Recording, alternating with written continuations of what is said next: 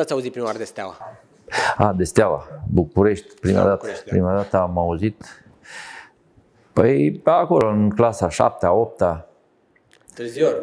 târziu, da, 7 8 -a. Eu, noi nu, nu aveam la televizor uh, canalul, nu prindeam canalul românesc, numai sârbii. Acolo aveam o antenă mică și se vedeau toate aveau, nu știu, câteva canale și arătau, dădeau și fotbal și mult sport.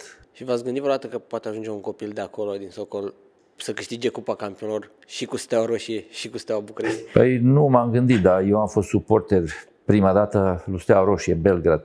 Când mergeam cu taicul meu și cu mama în, la rude prin Iugoslavia și m-au dus odată la stadion la un meci și când pu, era ceva incredibil când am văzut și m-am îndrăgostit de echipa aceea. Cu, și țineam cu Steaua Roșie, Belgrad. Și după ce am terminat clasa 8 în clasa 9, atunci am, am văzut Steaua București, bine, și Naționala României, l-am văzut pe Neafane Sameș și uh, era idolul meu, îmi plăcea foarte mult.